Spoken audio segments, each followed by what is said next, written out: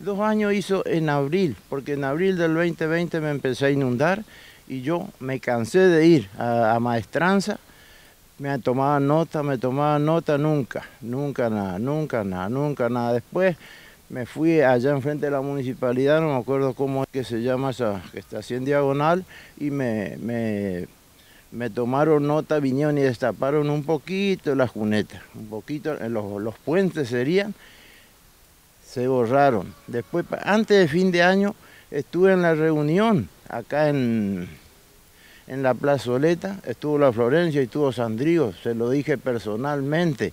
Bueno, quedó la Florencia que dijo que en, la, semana, en la semana entrante vamos a andar.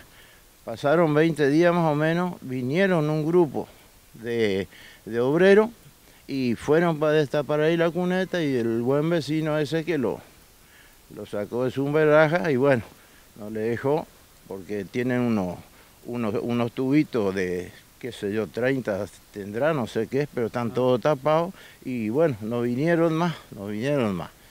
Y yo seguí yendo porque las veces, las veces que le mandamos fotos con mi hija cuando nos inundábamos, tuvimos hasta 10 centímetros de agua adentro de la casa. O sea, a ver, entonces, por esta alcantarilla ahí que está frente a, a su casa, digamos, pasa el agua, eh, digamos, es muy chica la, cuneta y entra en su casa que es medianamente... No, rebalsa aquella, ah, aquella. Claro, esta está de bota a bota, esta corre algo, corre algo. Y rebalsa aquella y corta acá derecho. Y de acá se va derecho. A, su casa. Sí, tuve hasta 10 centímetros de agua. Hace ¿La última lluvia? La anteúltima, anteúltima. Hace dos años, dos años que vengo luchando por esto y, no, no, hay respuesta, no hay respuesta, no entiendo yo qué, es lo que quiere. Ubique la dirección bien donde estamos. Yo estoy en, calle 46 al 1578. Esto se conoce como barrio hospital. Barrio, barrio San Jerónimo. San Jerónimo. Era antiguamente, era barrio Sorzón, éramos todos, pero después hicieron tres cuadras y tres cuadras. Y, Usted sabe que está paradoja esto porque quien también se debería ocupar de esto es la vecinal, y acá estamos a una cuadra del salón vecinal. nos dan pelota. Ese, ese día, cuando estuvo la Florencia y estuvo Sandrigo, estuvieron los presidentes de, la vecinal. Pero ni fu ni fa, ellos sentados ahí nomás.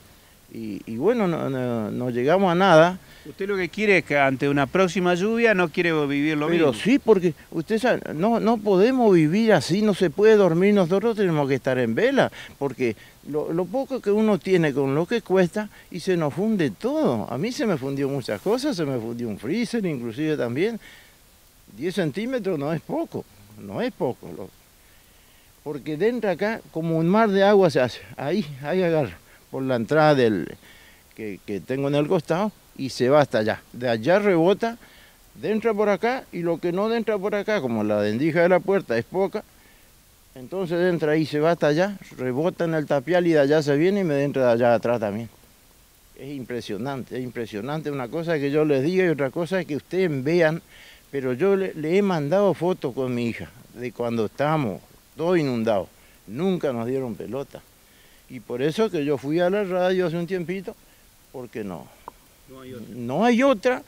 pero sí empezaron al mes que yo fui, justo al mes, eh, eh, justo a la semana de que yo fui, empezaron allá. Hicieron una cuadra y media y no aparecieron nunca más.